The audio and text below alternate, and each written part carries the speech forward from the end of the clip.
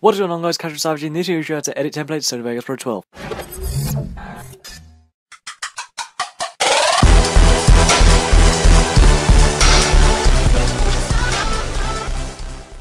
Okay, so first of all I'm going to show you what the template actually looks like.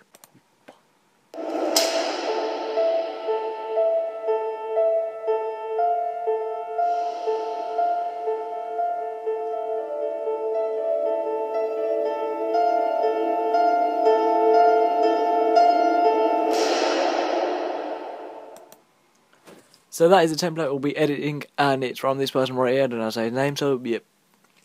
This link will also be in the description to his channel, so you can go and check out his stuff. And then when you download it, it's always from uh, MediaFire.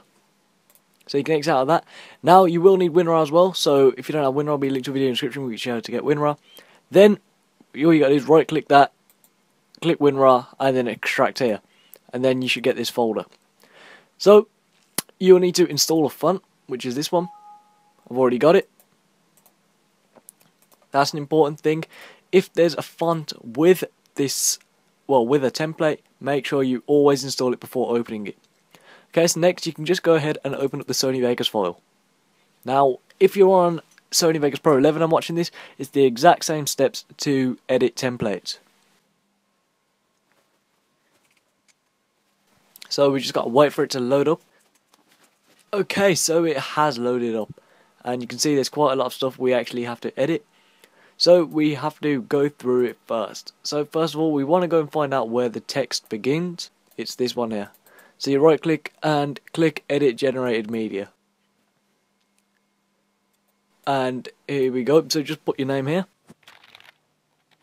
And I'll keep presents the same. Actually, I'll just change it just to show you that you can't change all this.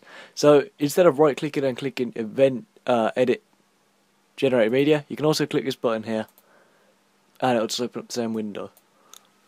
Uh, instead of present, I'll just put welcomes. So you can see as you do type this, it does change. So you can progress further in the video now.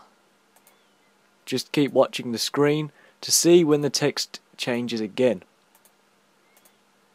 Now this is where the text changes again and it's this one this time. So you right click, click edit generated media or just click that and just change your text again.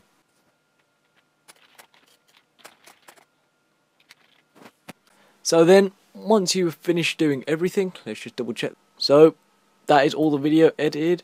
So I'm just going to head and quickly render all this and I'll show you the final clip.